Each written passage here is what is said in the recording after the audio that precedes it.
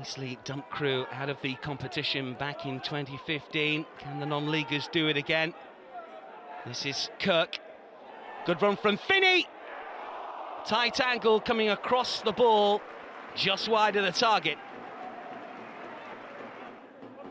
Pickering. Finney to turn. Daly's free over on the right-hand side. Can he measure the cross? Takes a look up. Sees Anene in front of his marker, and on his FA Cup debut, he puts Crewe in front.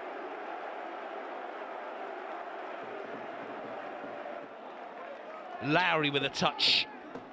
Red shirts left and right. One of them Powell on this right hand side. Can he get the cross in? Oh, that's an own goal. It's Raider Johnson.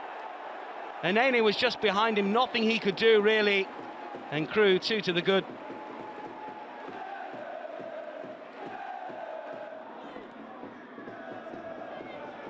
Pickering.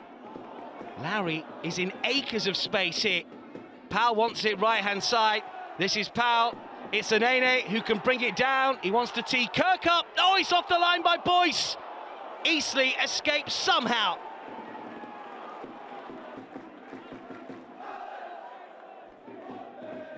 Crewe with a corner.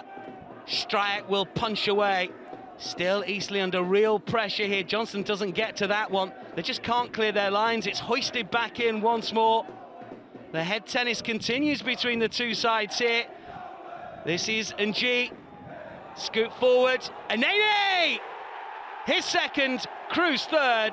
And surely that is passage into the third round of the FA Cup.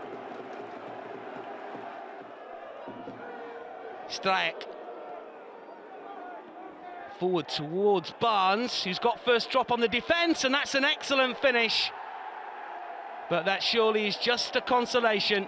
It is Crewe who gain revenge on the non-leaguers and are through to the next round of the Cup.